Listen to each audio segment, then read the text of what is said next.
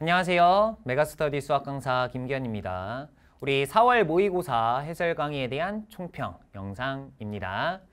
우리 4월 14일에 시행된 4월 모의고사에 대해서 이제 우리가 어떤 부분을 조금 더 조심해야 되고 그리고 이걸 통해서 어떤 부분을 배워가야 될지에 대한 얘기 같이 한번 나눠보도록 할게요.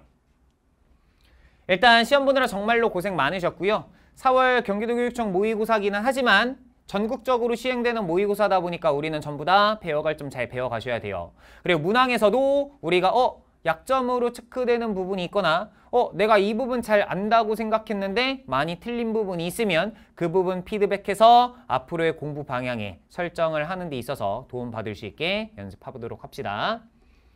일단 공통과목과 선택과목 다 같이 한 번에 얘기해도 괜찮을 것 같은데 일단은 문항 자체에서 실제로 우리가 시험을 봤을 때 3월에 비해서는 그래도 좀 풀만하지 않았을까 쌤이 3월에는 이야기를 했을 때 아, 3점짜리도 빡빡한 게 있었고 4점짜리 또한 제대로 공부하지 않으면 틀릴 수 있는 문항들이 많았다라고 이야기를 했었는데 이번 4월 모의고사는 풀면서 조금 느꼈을 거예요. 실제로 객관식 4점짜리도 9번, 10번, 11번, 12번 smooth하게 넘어갈 수 있게 공부하셨어야 돼요.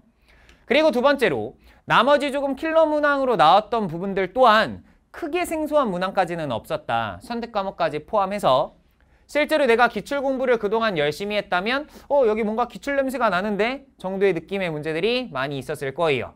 존중님 저는 못 느꼈는데요 라고 한다면 앞으로 계속 열심히 하시면 되겠죠 그렇지만 내가 만약에 그동안 열심히 공부했다 그리고 잘 풀었다 자신감 얻으시면 됩니다 그렇지만 문항 자체의 난이도가 그렇게 빡세지만은 않았기 때문에 일단 첫 번째로 실수하지 않으셔야 되고요 두 번째로 알고 있는 문항들을 빠르게 풀어내서 거기서 시간을 세이브한 걸 통해서 나머지 어려운 문제에 시간을 쏟는 연습까지 하셔야 됩니다. 알았죠?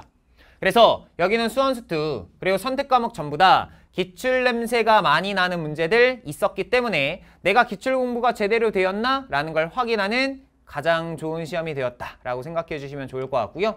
그럼에도 불구하고 틀린 문항들 또는 어려웠던 문항들 있잖아요.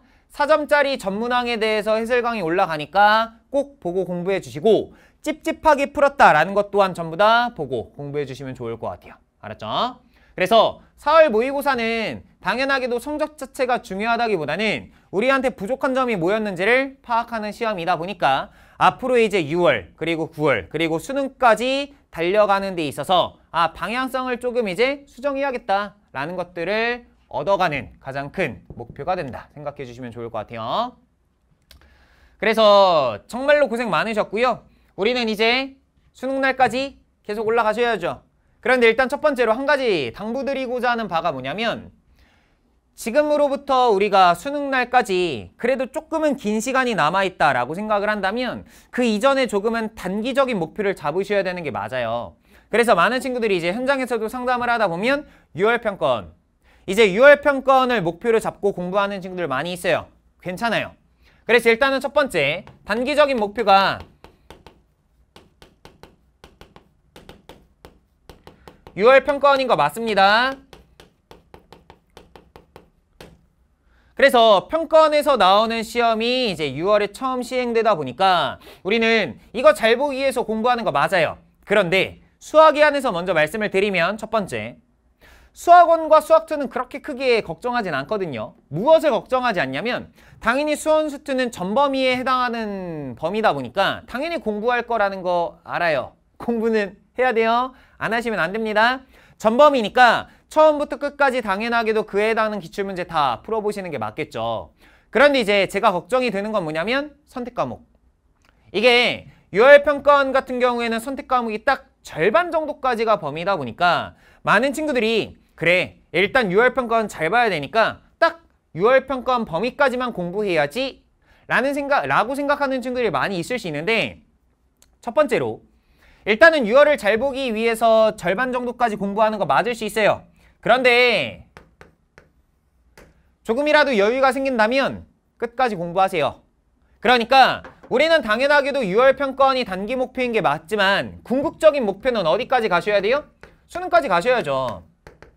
그런데 꼭 이렇게 말씀드리는 이유가 뭐냐면 첫 번째로 많은 친구들이 6월 평가원에서 나의 약점이 전부 다 드러나게 될 거거든요.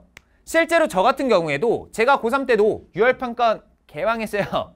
유월평가원 개망했다 보니까 야 내가 진짜 제대로 아는 게 없을 수 있구나 모든 과목에 대해서 그러다 보니까 어 내가 그동안 공부한 게 헛된 공부였나? 아 앞으로 다시 돌아가서 빵꾸난 개념들을 다시 한번 채워야겠다 라는 피드백을 받게 된단 말이에요.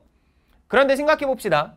만약에 내가 유월평가원 범위에 맞춰서 딱 선택 과목을 절반만 했어. 그래도 유월평가원을 망했어. 그럼 앞으로 다시 넘어와서 앞에서부터 차근차근 가겠죠? 그러면 유월평가원부터 수능 때까지 또 시간이 그렇게 많이 남지 않았다라는 생각 때문에 이 선택 과목 뒷부분을 제대로 공부하지 못하는 경우가 다반사입니다.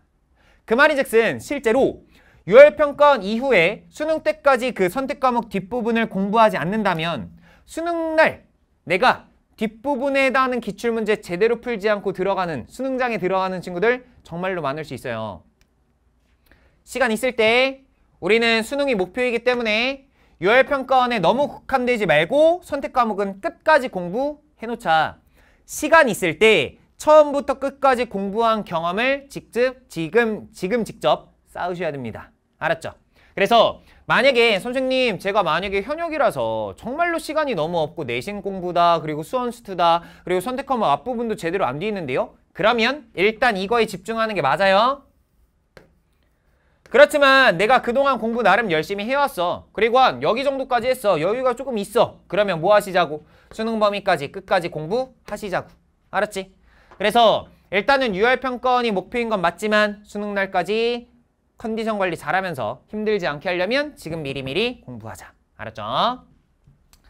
그래서 4월 모의고사, 교육청 모의고사기는 하지만 문항에서도 우리가 실제로 배워갈 문항들 많이 있었으니까 꼭 해설 강의 보시고 피드백 해주시고요. 우리는 6월 평가원 그리고 수능 날까지 열심히 달려보도록 합시다. 그래요. 그럼 해설 강의 보고 열심히 공부해 주시고 총평은 여기까지 마무리하도록 할게요. 오늘도 고생 많으셨어요.